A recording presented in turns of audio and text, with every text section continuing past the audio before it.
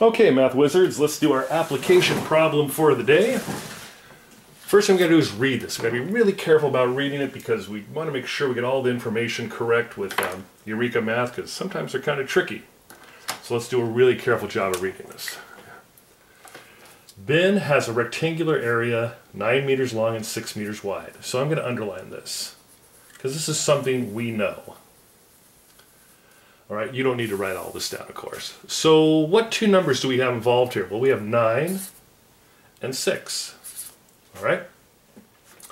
What else happens here? He wants a fence that will go around it and grass sod to cover it.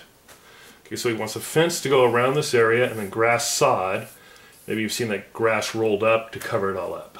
What we, we need to find out. First of all, we need to find need to find out how many meters of fence will he need. Now, you get ready to write on your scratch paper because we're going to start drawing his area.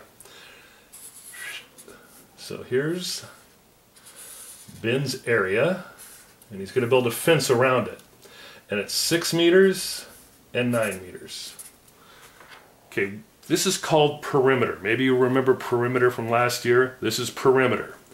How do we figure out perimeter? We add all the sides. So I'm going to put 6 meters over here and 9 meters here. Right. What's 6 plus 6 or 6 times 2? 12. What's 9 times 2? Or 9 plus 9? 18. I'll put the larger number on top. That's always a little easier. So now I'm ready to add. 8, 9, 10. Put my 1 over here. And go 1, 2, 3. And don't forget your measurement, 30 meters. So we can answer the question now. Ben will need 30 meters of fence. Ben will need 30 meters of fence. So go ahead and write that down. Because remember in Eureka Math, we read, we draw, and then we write. Now, how much grass sod will he need to cover it? Well, think about this. Remember, this is area. He's going to cover the area. So let's go ahead and think about the formula for figuring out area. Length times width. So it's just 6 times 9. Okay? 6 times 9. What does 6 times 9 equal? Think about it. Do you remember? Remember that one way that we were looking at it last year, where you can go like uh, where you can go like this: six times nine. You put out your fingers, go one, two, three, four, five, six. You have five here, five tens, and four ones. So fifty-four. Maybe we can watch a video about that. But he's going to need fifty-four. Um, so, so we're trying to figure out how many square meters of grass sod will he need to cover the entire area. So it's square meters, and we'll talk about that in a little bit.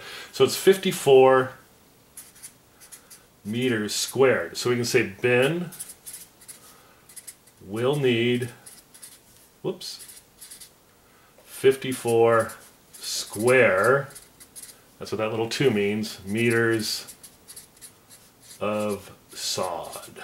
Okay, why it's called square meters? I love showing this. Let's take a look.